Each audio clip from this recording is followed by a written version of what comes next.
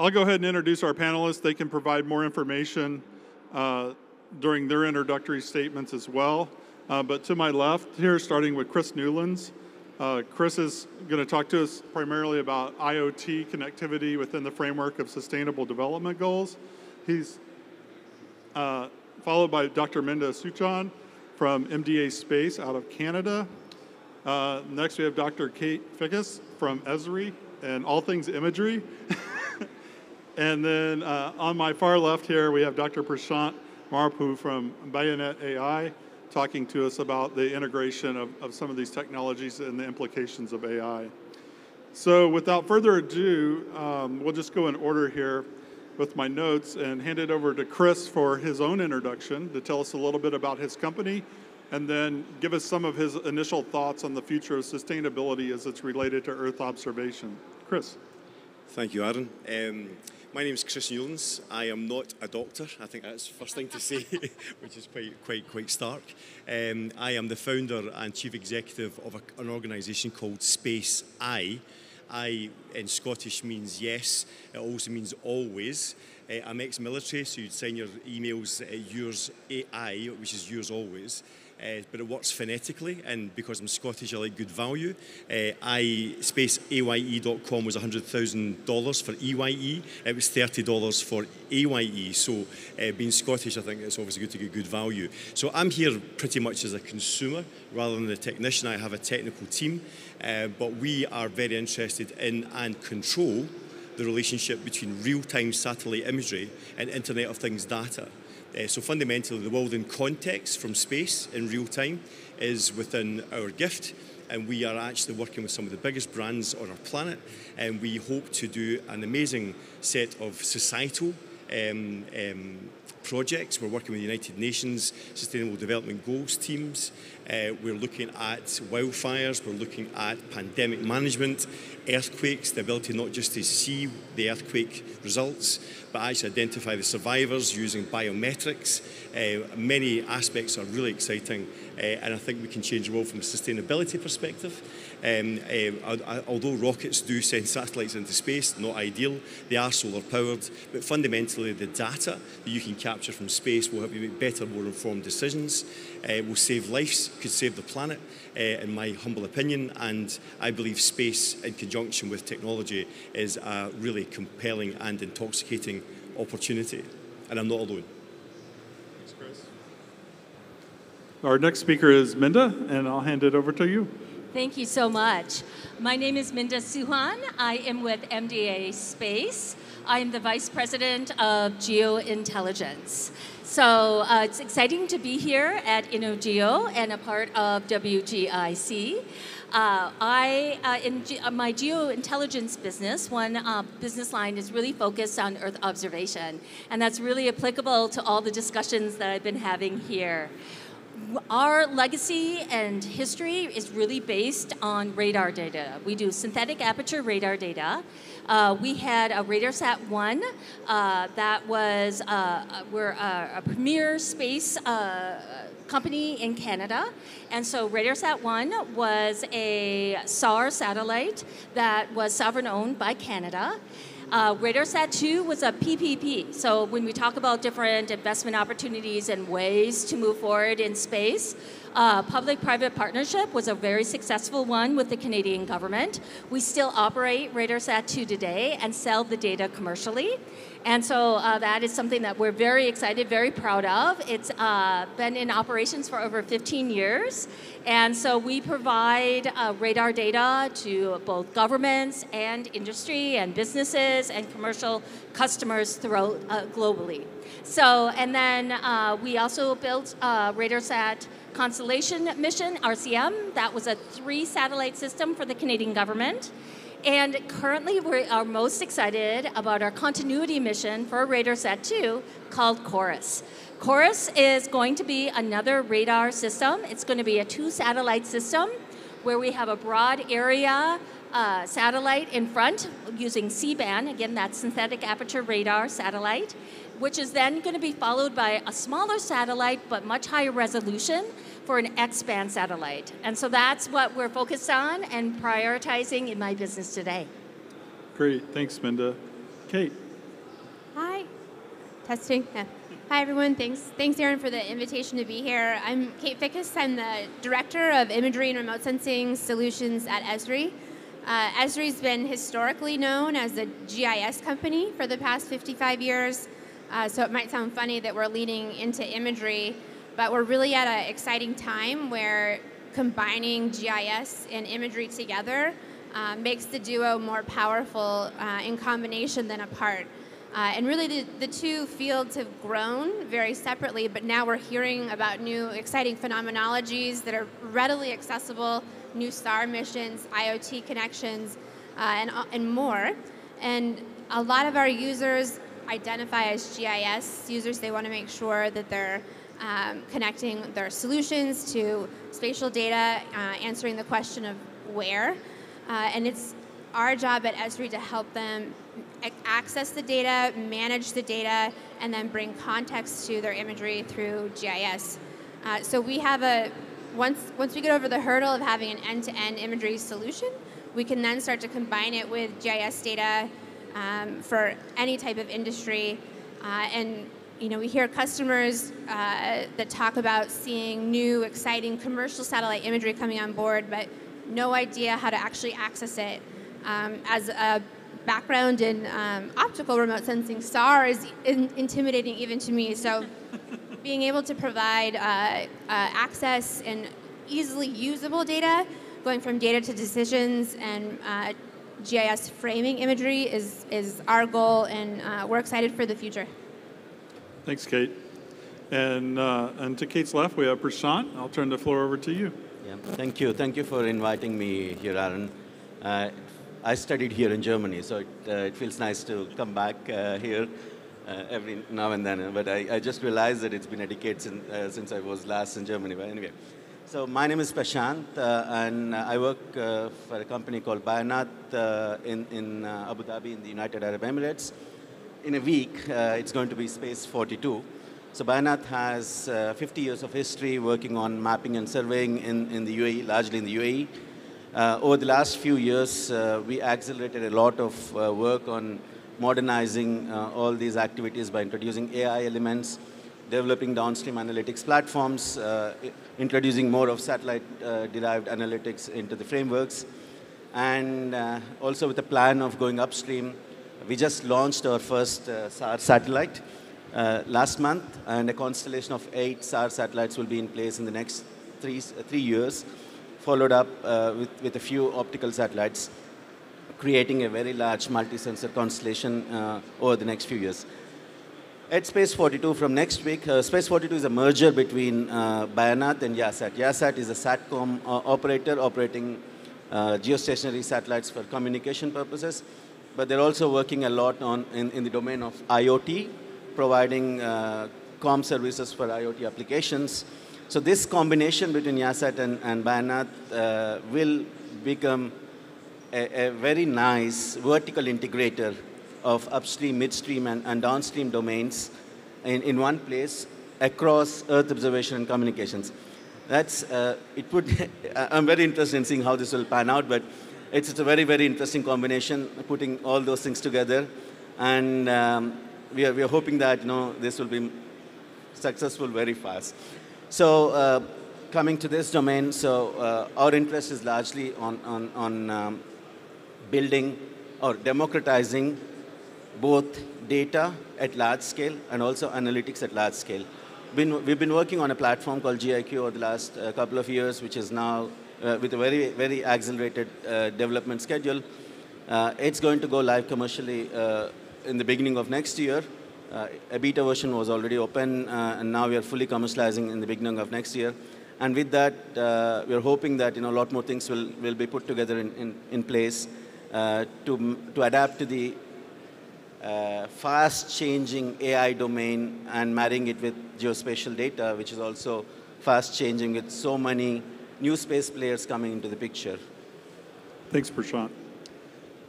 So a fantastic qualified panel of subject matter experts representing uh, many of the existing but also emerging technologies in Earth observation. And I think it, it doesn't take very much conversation at an event like Intergeo to understand that geospatial and Earth observation not only technologies but data streams, analytics. Um, I love decision actionable information.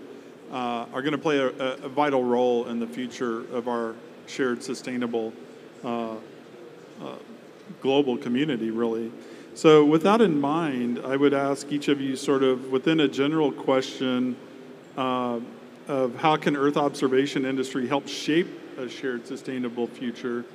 Um, you know, I, have heard you talk several times about IoT. I don't know if everybody here is familiar with what, what that truly means in the context of geospatial, um, but I'm, I'm hoping you can share maybe a little insight on how technologies such as those that SpaceAye is involved with and IoT really do play an impact in everyday life of, of a sustainable future for us. Chris?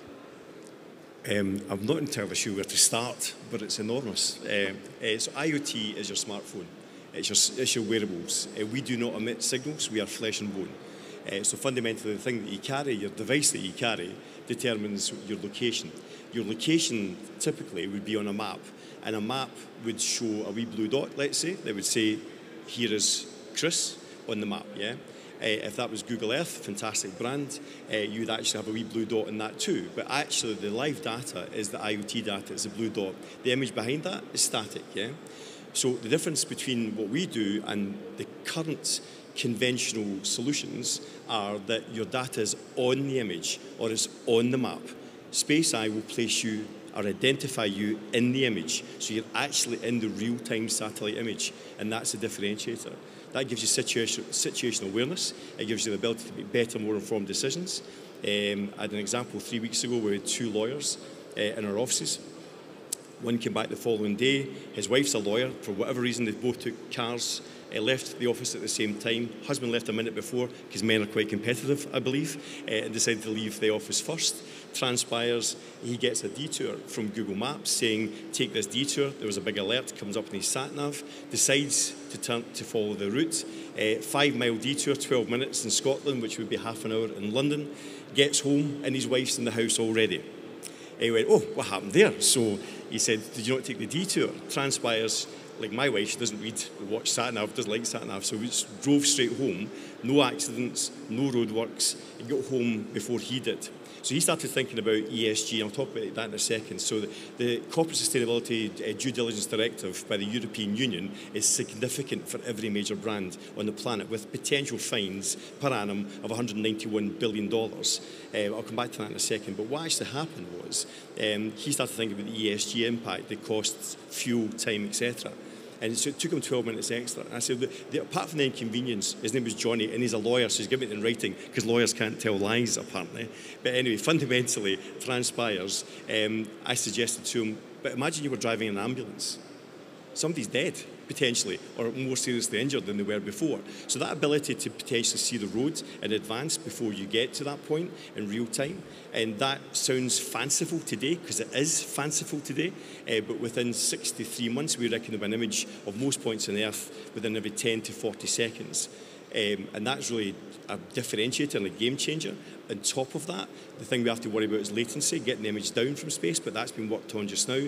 People much more clever than I will look at that too. But quick, quickly on CSDDD, the ability to actually track and trace the entire uh, supply chain of some of the biggest brands on our planet, not just the operations within Europe, is actually within the gift of our organisation and a major technology company as of Monday started the build of our very first platform that industrialises our processes. So that ability to follow, track and trace the entire supply chain and report on that and monitor that and the impact on human rights, on the impact on nature as well as animals and plant life and the ability to talk about the impact on the climate is something that we reported upon and they failed to do so will result in 5%, same as GDPR, of uh, net profit uh, from that, that organisation.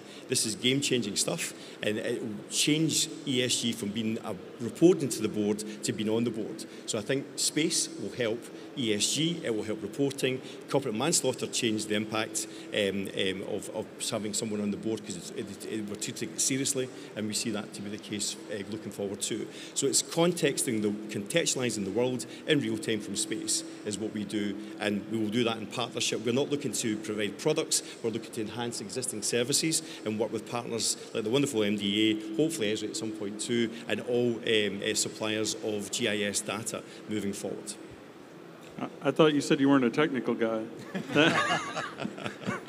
That's great. That's fantastic. Um, thank you for that.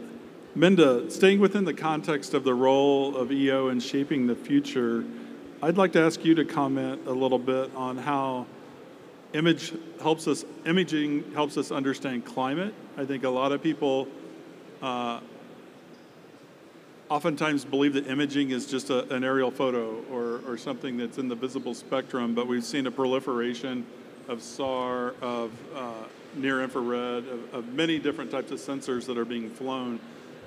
How, how do we tie those things to, to understanding climate, to ESG, towards you know looking again in the context of a sustainable future? So, I, uh, as a data provider, and from space. So if you think about satellite data, I think there's a recognized uh, number of metrics that monitor the health of the Earth and what's happening in terms of climate changes. And over 50 of those parameters cannot be measured except from space. So space really gives you that higher perspective uh, beyond just aerial and what also space does is, depending on your orbital control and how you view the Earth, you can see things in a very specific and consistent way, which allows you to do things like change detection. So, for example, radar for, uh, is used to monitor the polar ice, right?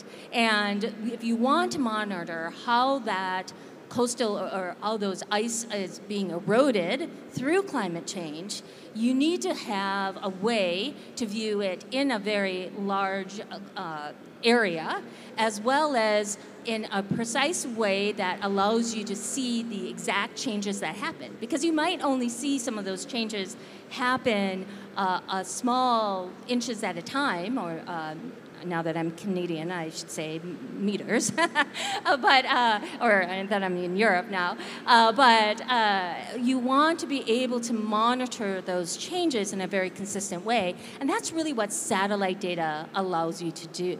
So not only can you see these different metrics that are out there, specifically I was speaking from the radar perspective, but also there are a lot of other satellites that do these metrics, other types of phenomenology but uh, specifically radar. So we work very closely with the Canadian government, with NASA, with NOAA in the US to really monitor and map out in a temporal way uh, what's happening with uh, the uh, ice sheets uh, in the polar regions, for example. Fantastic. Thank you so much. Kate, Minda gave us sort of this big picture. I'm going to ask you to drill down a little bit to some specific use cases um, and something that, that impacts us all, which are natural hazards. How, how are imagery, how are Earth observation technologies in service of that sustainable future uh, being used in the context of natural hazards? Yeah, thanks, Aaron. And I think my, my fellow panelists have done a great job describing the why and the how we can use remote sensing we have new uh, types of sensors that can detect things like wildfires, landslides, flooding. More and more of those uh, solutions are coming on board. But just because we have that data available does not necessarily mean it's accessible uh, or usable to the majority of people um, who it needs to get in the hands of. And so I like to think of natural disasters or something that impacts both uh, the public and decision makers is needing to go from data all the way up to decision making. So it starts with uh, maybe uh, just a, a, a, single image of a wildfire. That's the, your first step. Uh, and then you can go to, okay, we have a map of all of the different wildfires in a specific region. And then you can measure how big the wildfires are. But when you really start uh, adding GIS data uh, or contextual data, um, and build it on a platform. And I'll tug on the word sustainability a little bit. I know we're using it potentially in the in the in the form of climate, but uh, sustainable to me also means sustainable solutions for future generations as well. So if you build it once, you can continue to use it. It's traceable. You have accountability. Um, and so when you add in things like how many people live near a wildfire, um, how many of them have a car? Can they evacuate? Uh, how many of them speak the local language so you can communicate an evacuation? Uh, those are all things that require a little more nuance and more in-depth solutions than just a single image. So uh, I find that users uh, are really hungry to be able to communicate uh, these really excellent and amazing new sensor types and data types coming on board, but don't really know how yet. Sociology research tells us that we have about 30 seconds to show a decision maker uh, some sort of graphic for them to lose interest or make a decision off of it. So you can't, you don't have five minutes to explain SAR or thermal or how big a pixel is or uh, how, how big the fire is or this is what we estimate the accuracy to be in our machine learning model. It has to be quick and it has to show real solutions um, and, and that way it's sustainable, traceable, usable, uh, and actually accessible, not just available. That's great. I really like that. I think it's important. Uh, we should talk more about communication because we have a lot of wonderful technologies, and sometimes they're not used to their fullest potential because we're not communicating them in meaningful ways. So I feel like that's really important. Thanks for that.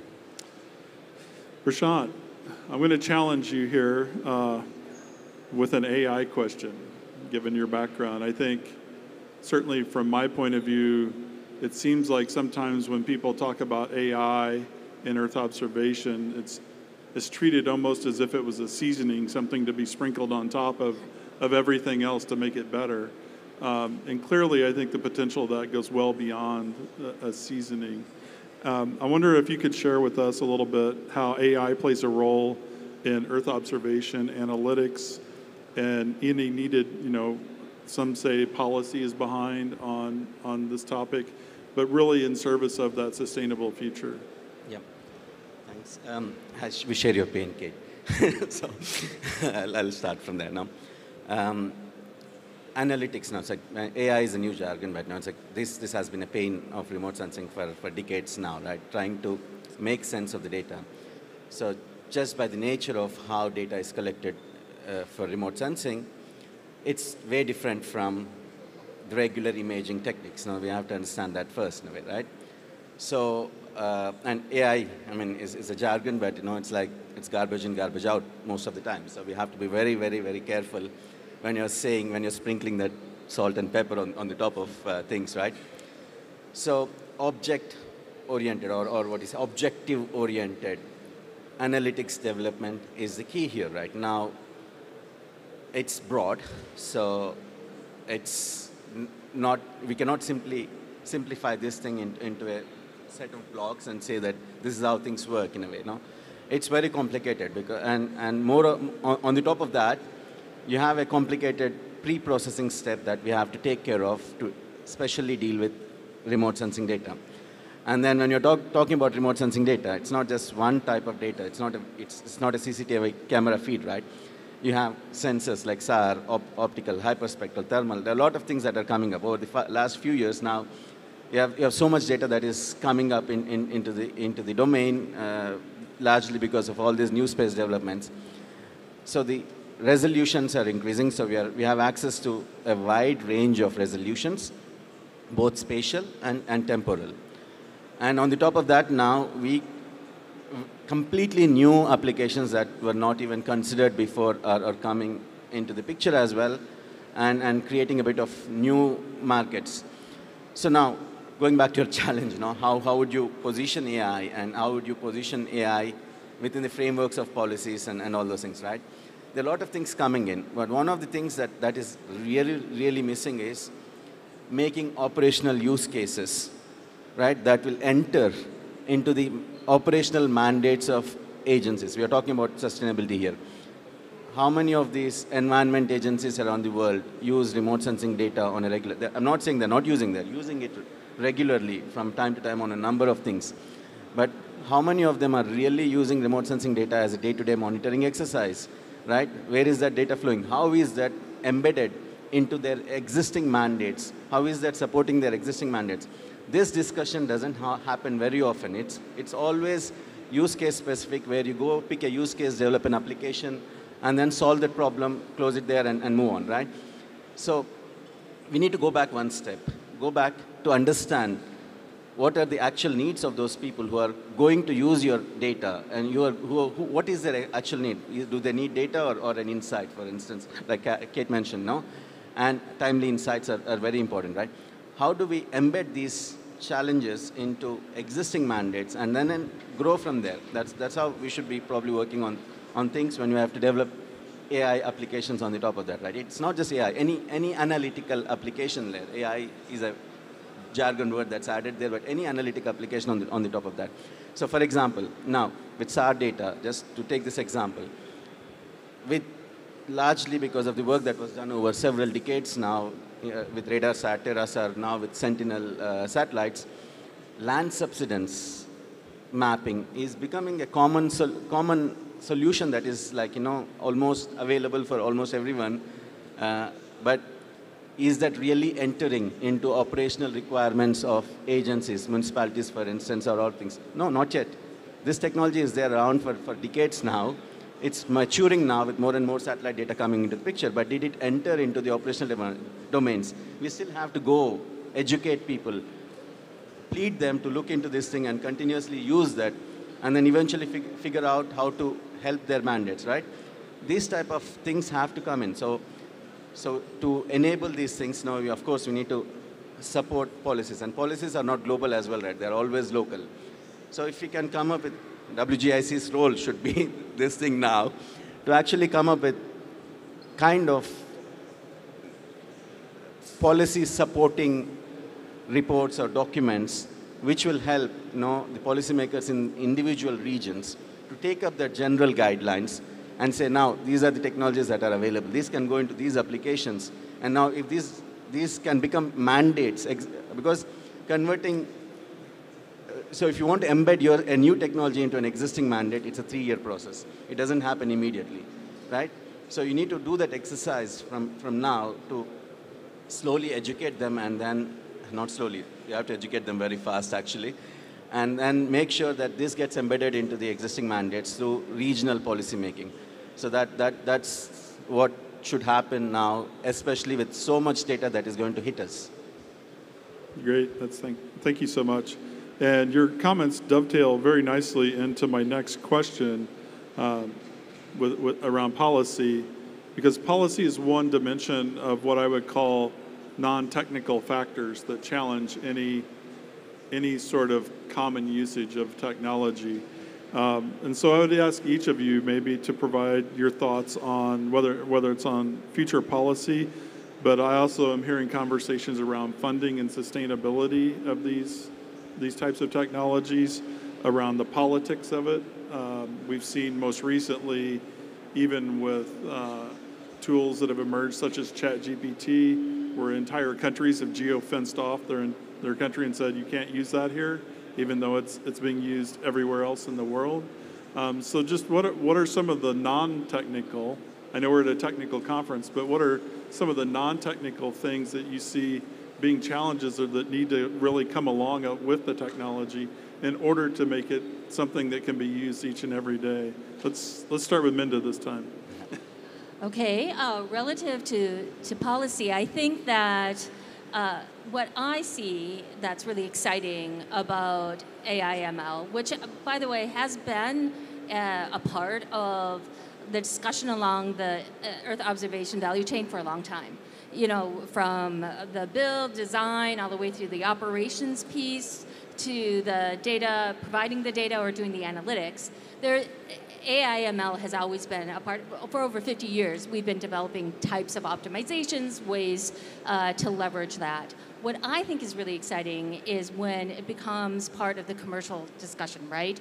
And the conversation around AI through Chat GPT and other types of technologies like that, really the innovation when it enters into uh, the more commercial, broader uh, conversation is really important. And I've seen a little bit of a shift. I grew up on the defense and intel side, and I see that there was always a lot of innovation there.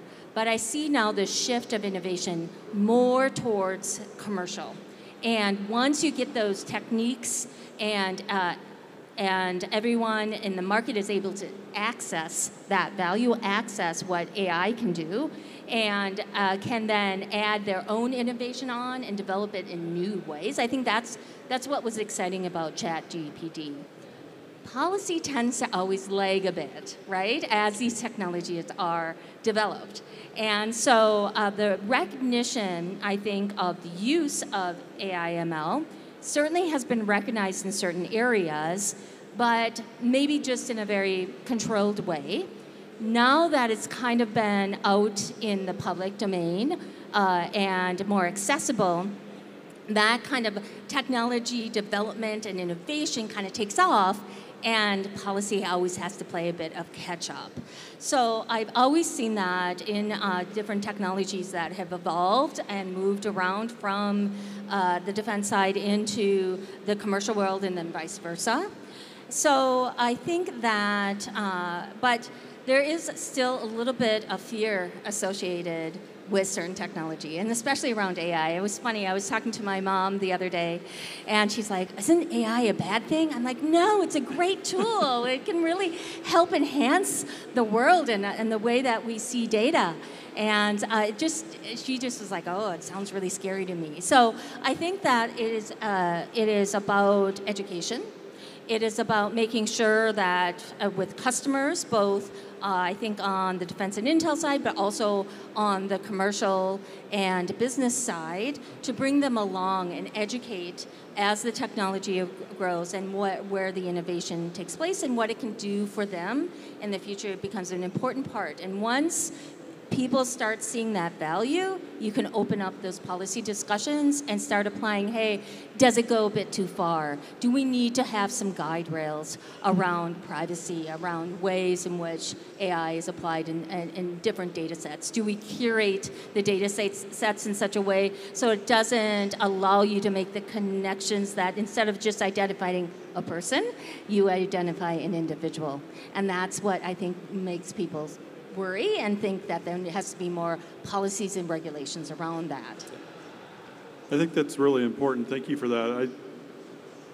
I, I get concerned, and I, I think we need more conversation around the realities that innovation and technology run at a certain RPM, if you will, and government and policy runs by its very nature at a different RPM.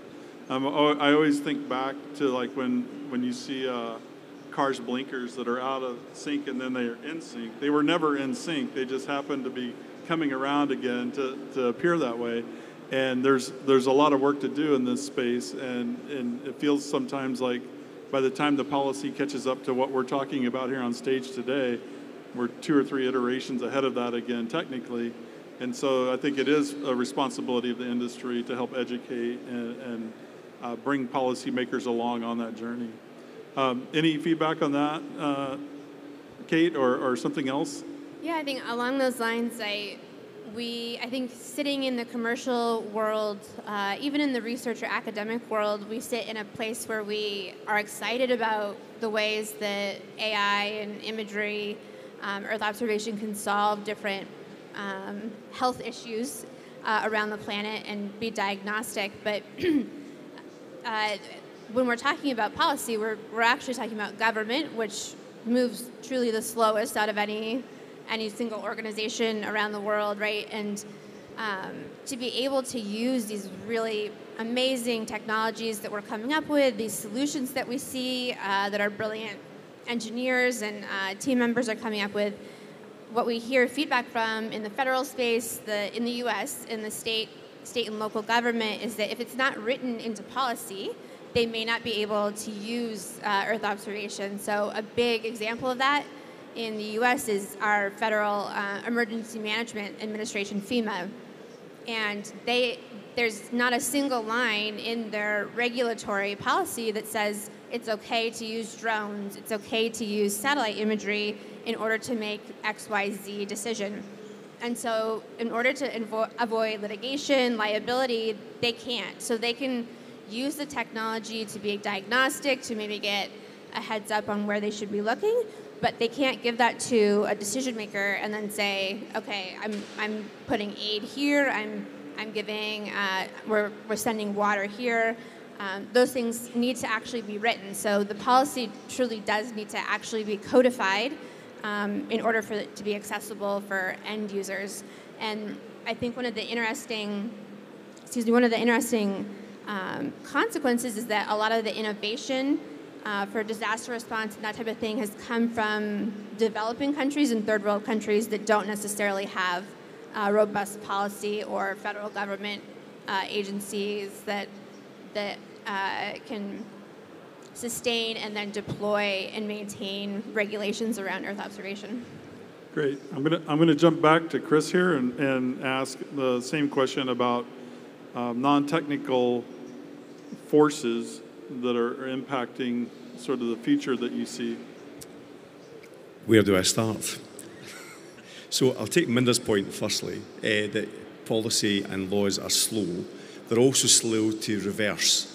And actually, that's a danger too, because fundamentally, we're all a bit limited in certain parts of the world by and restricted by rules, regulations, and policy to the point where it's actually disadvantageous to our agencies and our people, and it's putting people at risk, it's putting countries at risk, it's putting ideology at risk as well. So I'm quite direct with my feedback on this one. So let, us let's, uh, let's get ready for this. So this is the Glaswegian telling you as it is, okay? So we have a situation where we have the Wassenaar arrangement.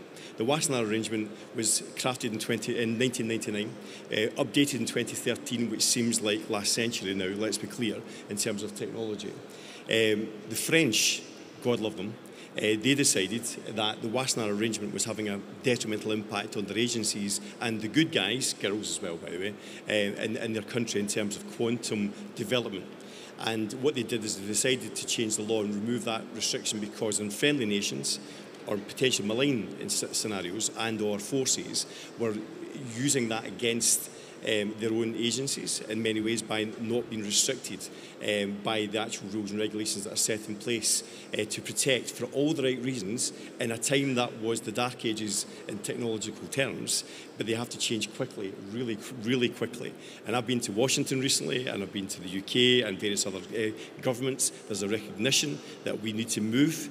We need to move quickly, more adeptly, and actually fundamentally, we need to catch a grip quite honestly, when it comes to technology and it comes to laws as well. So we need to be quick to respond and quick to reverse and agile. If we're not agile, in technological terms, that's a disaster. If we're not agile from a governmental and rules perspective, that's equally a disaster. There are geopolitical elements at play globally, and we have to recognise that too. So I think fundamentally, laws are great, but we have to obviously apply. What was it they say? Um, uh, rules are for wise men, and uh, sorry, was it say rules are for fools and guidelines are for wise men? I think is a phrase that was always used in the past. But fundamentally, I think we need to be a bit pragmatic about this and understand where we are in the world, what's happening. The technology is changing at a pace that's catching everyone by surprise. Where there were 620 Earth observation satellites in 2017, this year will be 1,657, and by 2030, 63 months from now, there'll be nearly 12,000. That's a satellite with imaging capability passing overhead every 10 to 40 seconds on average. That's a game changer, and we need to understand the implications of that, the benefits of that, the opportunities around that too. And AI is really important, but AI just classifies what we bring to the party, so I, am a bit of a pitch here, SpaceAye identifies. So it's the difference between identifying and classifying, and that, that personalisation of data will mean the difference between life and death. Quick example, that's one final point. I spoke to someone yesterday who talked about the wildfires in, in California, and actually one system, one mapping system, um, no names, no pack drill as such, but it's, it's just to give an idea, is actually was actually picking up that there was traffic going towards the fire. So they thought actually the road was open, but they didn't differentiate that that was actually a fire engine. So they were directing civilians in cars to, to the road must be clear. So we need to be a bit more data sensitive. Personalisation of data is critical in my view as well. But policies and laws can restrict and can enhance, but we need to move more quickly and more agile. Perfect. One common theme I'm hearing here so far is doing the thing right and doing the right thing are quite different uh, when it comes to, to some of these technologies. Prashant, I'd ask you to, to wrap us up here on, on non technical yeah, issues. Uh, I, will I'll take a very nice example that is happening recently in India, in my hometown in India. There's now a government action. So normally around any water body, be it rivers or, or lakes or ponds and all those things, you have a buffer zone to help water bodies grow and shrink and all those things, right? And with time, of course, there will be illegal encroachments of these things. And over the last few years, a few months or few weeks actually, the government has started taking action and basically destroying all those illegal encroachments. That's one thing. That's that's a good thing they're doing. And guess what they're using? They're of course using historical satellite imagery. Now there's something very interesting happening, non-technical. Now a lot of these people, semi-technical people, let's call, started looking at what is available. Google Earth, for instance, Bing Maps, where you have historical data, started posting on social media, Instagram or whatever, on how anyone can actually install an app on your phone. Uh, because of the digital revolution in India recently, now we have 1 billion WhatsApp users. Everyone has internet and, and smartphone uh, nowadays, right? No? Now, they're giving us giving these tools now, right? Now, this is very powerful. You know, this is happening in front of our eyes. Now, they're showing how easy it is to access this data, see in your region what is happening historically, using this little app you can put on your phone and see. Now, on a daily basis over the last few weeks, add at least one WhatsApp forward every day, showcasing these videos where people are explaining how a normal person can actually simply look at what is happening in their region with this thing. Now you see, it's a, it's a reverse. It's not coming top down. Now, bottom up. Normal people, when they're exposed to these tools, can start forcing policies. The government cannot back down anymore now. People have the tools in their hand, right? And this is, this is so powerful happening. This is the combination of all this revolution that is happening, data access, access to internet, for instance, or access to data and all those things, and education at that level. That is so powerful, and that is happening at a non-technical level. And on the other spectrum, the people who are providing these services now should also be very proactive. UAE, for instance, last couple of years, last few years, we're seeing floods, unprecedented floods in a way. It doesn't rain so much, but when it rains, it pours now. And recently, because of it's, it's a large-scale phenomenon, right? It's not a localized phenomenon because of changing climate change, largely because of changing uh, climate, uh, sorry, ocean, uh, ocean circulation patterns and so on. Because uh, around the monsoon season, when, when the winds are supposed to go to India from, from, from the uh, ocean, they're deviating and then hitting uh, the Arabian Peninsula, and we're experiencing more and more rains. That's one of the factors, among others. Now, the region is clearly not prepared, as you can see. You know, it's like videos coming out showing, you know, Dubai getting flooded uh, up to the first floor, second floor, and so on and so on, right? So the providers li like us now have to be very, very proactive. So it's not simple, right? Now, satellite data is not just available when you want. You have to plan that carefully. So what we did, as an example, is we, we embedded, automated an entire system where we took weather forecasting, centralized to create much more localized models to the level of 500 meters to one kilometer grids or, or at least two kilometer grids, where we are very certain because satellite data is still expensive. So I cannot just simply scan the entire country. I need to be really, really precise to get those exact locations where I have to get a picture and support when things are happening. Till now, everything is reactive, right? Floods happen, then you, you task a satellite, get the data, map, and things are late. You know, we are not ready. We are not really solving a problem there in a way, right? But if I can give that data in a timely manner, exactly at the time when the event is happening, that's much, much more valuable, right? So what we started doing it is, now it's like, again, we were hit and we were asked a question and we were not ready, so we have to come up with a solution. So we introduced this entire schematic where we use the weather forecasting, clearly pinpoint and, and a bit of hydro modeling to exactly see which regions are going to be flooded, and then task a satellite pay, uh, tasking eight hours to one day in advance. When, and we have data exactly when the event is happening and we produce maps clearly. That's, that's a real use of AI, right? Now AI is now helping me to map those zones in seconds or minutes. And as soon as I get the satellite data, in a few minutes, I'm just delivering the results. This type of proactiveness will help a lot in terms of propagating these things and helping it be part of policies in a way. Okay, thank you very much. Go ahead. Can I add one extra uh, point to this? Because I think it's really, really relevant. There are no rules in space. There are no laws for space. And that's something that's a major concern to go back. This is a policy point, really, to be honest. So the feedback we're getting just now from the UK and US parties we're speaking to, without getting too much detail, is that our patents could form the basis of, the framework for, the standards or the laws of space. Because actually, 32 billion IoT devices and that data being freely used and made available to everyone doesn't make any sense from a privacy perspective either. So I think we need to effectively uh, geopolitically and internationally agree how we interact with that data uh, from space if we're to move forward in a way that's sensible and within uh, certain circumstances too. So we're excited by that. We're very proud of that potentially too. So we don't we don't disregard and don't like laws and rules. We're just saying let's just be let's adapt and be agile when we, when we do so.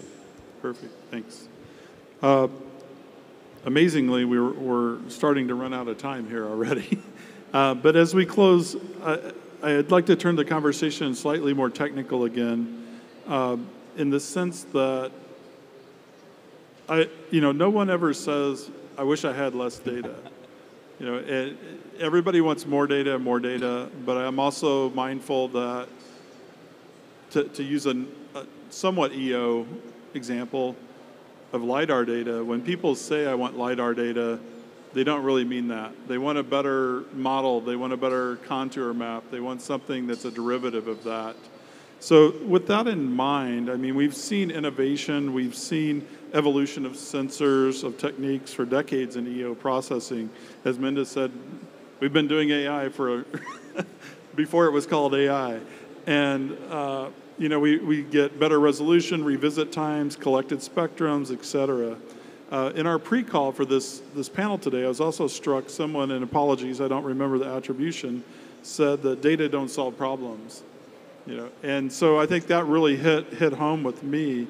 So in that, given that background, again, as we, we close up here in the last 10 minutes, how do we leverage Earth observation in the future to get the actionable insights from the massive data sets that maybe are not initially uh, what we need to make a decision so that, and again to Kate's point, we're going to have a very narrow window of time to put something in front of a decision maker if we're hoping to have any impact on the outcome. So uh, we'll start at the end and work our way back. Okay. So as I mentioned before, you know, it's like objective is the key thing, right? You know, what, what objective are you solving, right? So it's not about a lot of data, but it's a lot of right data that is very important, both for, for the sake of analytics and also for the sake of building the right uh, uh, baseline models on, on, on which you can build, build things, right? So clearly, no amount of data will be enough, to be very honest, because as you keep on adding data, new applications will pop up, and, and there's always a lot to do, no? right? So it's all about fixing the objective first and channeling the right data to solve that objective, right? So like I mentioned, for floods, for instance, we clearly know that, you know, it's like it has to come timely, it has to be the radar data because when you're, when you have floods, you know, there are clouds, there's no optical data, right, you know? So, but a lot of data, radar data is needed as well to actually track continuously how, how floods are propagating and, and which areas are damaged. And then on the top of that, you need to add the GIS layers that are already available, for instance, infrastructure, buildings, or whatever, uh, to help, or, or logistic support for the responders to go on, on ground and all those things, right? So these are all the data sets that are needed for that particular objective, right? Data, we're not talking about limiting data. A lot of data is still needed, but then you're actually limi limiting to the right data, but a lot of right data. That's, that's my uh, opinion here. All right, thank you very much. Kate? Yeah, Aaron, I couldn't tell if you were baiting me because I was the one that disagreed with you. um, that I don't necessarily think that we hear from users uh, that we need more data to agree. We need the the right type of data, and we need a way to uh, be able to shape that data into something actionable. So that comes down to things that are less sexy and less interesting, like data management, uh, data sharing data visualization, and then finally dashboards and ways to get the data and insights across to whoever needs to hear it most. Um, so we have a lot of data. We have a lot of the commercial satellite imagery has taken off in the last 10 years. Um, even if we had three centimeter hyperspectral SAR, optical, uh, thermal, you name it, for the entire globe, every day, every hour, we would still need a way to manage that data, share it across organizations, and then understand and, and get to those insights. Uh, so I think that that's the, the long-term goal is in having that in all one solution and putting the power in the user's hands who know their location, their community, their industry, uh, their village, whatever, ha- whatever it may be, they know it best. Um, we hear a lot about foundational models uh, these days globally. Um, agriculture is a, is a particularly big one, but a lot of that data is trained in the US, and we have some pretty wacky crop circles uh, in the US, and they don't really look like agricultural areas elsewhere in the world. Um, and so we run it, we get high accuracy because it's trained and tested in similar areas, but weirdly, it doesn't do anything uh, particularly well in Africa or South America. And uh, you know, I was on another I was on another panel, and someone said, in, in terms of foundational models with agriculture, farmers want to farm. They just want something to tell them: Do I water today? Do I fertilize here? How's my crop doing? What should I plant next season? Um, where should I send it? What's the easiest place to get, you know, the highest revenue? Um, we talk really high about technologies and AI solving problems, but at the end of the day, we actually have to get down to brass tacks and and do the doing. Yeah, perfect. Minda. So I also think about the diversity of data, right? It's not just, uh, I find that especially in Earth observation, to solve the ever evolving uh, problems uh, through climate change, through mission needs, through everyone having different, uh, different market verticals, trying to address different needs, it's not a single solution. And so you need to be able to share and collaborate across not only data sets uh, internationally through uh, country collaboration and through industry collaboration. That becomes a really important part of the discussion in order to really approach and get the problem solved. Because I, there's never going to be a single data set answer for every single mission or every single problem that needs to happen. And so that's what I really enjoy about being a part of the Earth observation community is that we understand that the need is a collaboration throughout uh, throughout the diversity of data sets, throughout the diversity of tools and data sets and capabilities. So that's really where I see uh, the uh, interest and the drive to move forward with the multiple data sets is understanding that, oh, you might have that data set for today, I need that type of data that tomorrow. We need to be able to come together to solve my customers' problems and in real time. So I, I really think that's, uh, that's another part of the discussion as well. Yeah, I, I think that's a great point. Um, I would add metadata to your comment about the unsexy things. I think one of the things that people are finding out about ChatGPT, uh, you know, we, we have the term data hallucinations in our lexicon now, is the they're finding where there's absent metadata, you have no confidence in the outputs, and so uh, that's a that's a really important piece. And I and I enjoyed your comments as well, Minda, on uh, the need for some of the the working together. I spent part of my career working with planetary scientists, and it's amazing how well all the scientists work together whenever you get data from Pluto, because there's only one data stream coming back, and everybody's going to have to play nice with it. Um, and so their metadata is incredibly robust, and their data protocols are incredibly developed not because they want them to be necessarily, but out of necessity because they know that's the only way that those systems are going to work. And so hopefully we can learn a little something from what they're doing there uh, where appropriate. So bring us home, Chris. We have about two minutes left. Uh, to get your thoughts. So, um, not being the doctor, or the only doctor, not doctor on the panel, I think it's important to demystify because I've never heard so much jargon in my life, to be honest. So, I'm, I'm a new person coming into the sector. And it's just rife with jargon. I mean, I need a, a lexicon to understand half the things that have been said sometimes. So I think we need to simplify that. We need to make it more useful to take uh, Kate's point as well. So this is about user, user usability, and visual data for me is the best data. So Earth observation is the best way to observe and contextualize our planet, in my opinion. And, and I'm sure you'll agree with that panel as well. But fundamentally, it's about use cases as well. And people always say, so what's a use case? How could you use this? And Kate and I conversation uh, just yesterday, actually, and we were talking about wildfires. So taking a nice satellite picture of a wildfire is, is pretty, it's dangerous, but at, at night time it looks very pretty. But fundamentally, it's really a dangerous thing, and it's killing people, it's, it's eating up assets, and it's killing the, the, the, um, our planet in terms of global boiling as well. But the ability to actually see where the, the responders are and the actual fire engines are in that picture is a game changer. That's when you, you create um, efficiencies from a command and control perspective. You save lives, you save livestock, you actually mitigate risks, and you put the fire out hopefully 40% earlier because that impact has a massive knock on impact on the rest of the planet too. So actually, it's not about data, it's about making it usable, useful data, turning it into something we can all use as actionable insights uh, and help change the planet. Perfect. And Join me in thanking all of our panelists again. We'll have to leave the discussion there, uh, but it's been a great discussion, and I think I have a lot more questions also that, that we could use for, for a future panel on this same topic. So thank you very much. And you could, you're welcome to stick around. We have our next session following this immediately is on infrastructure and sustainable future, and we'll get started in a couple of minutes. Thank you.